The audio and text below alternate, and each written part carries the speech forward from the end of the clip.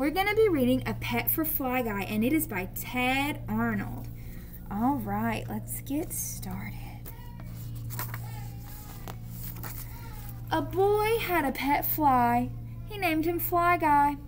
Fly Guy was the smartest pet. He could even say the boy's name. Buzz.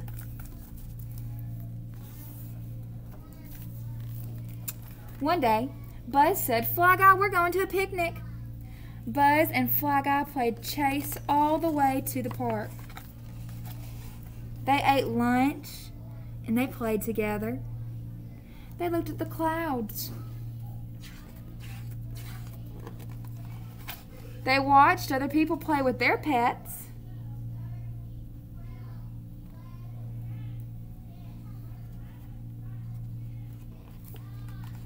Wow, said Buzz. Everyone has a pet. No pets. Oh, that's right, Buzz. You don't have a pet. No pets. We will find a pet for you, said Buzz. Yes. But remember, you have to take care of it. Yes. And play with it. Yes. And feed it. Yes. Okay. Whoops. Okay, said Buzz. Let's go to the pet shop. At the pet shop, Buzz came out with a puppy. It licked Fly. Buzz came out with a kitten. It swatted Fly. Buzz came out with a frog. It chased Fly. This isn't working, said Buzz. Only you can pick the best pet for you.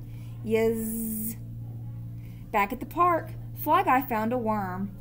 It was too slimy. Fly Guy found a spider. It was too tangly. Fly Guy found a cricket, but it was too jumpy. Let's think about this whole pet thing, Buzz said. Yes, you need a pet who likes to play, said Buzz, just like you. Yes. You need a pet who can do tricks, just like you. Yes. You need a pet who is a good friend, said Buzz, just like you. Yes.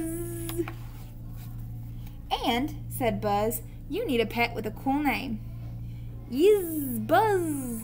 Buzz is pets. Me? said Buzz. You want me to be your pet? Please. I never thought of that, said Buzz. Okay, sure. I mean, yes. There's just one thing about being your pet, said Buzz. Do you know who's the best pet in the whole wide world?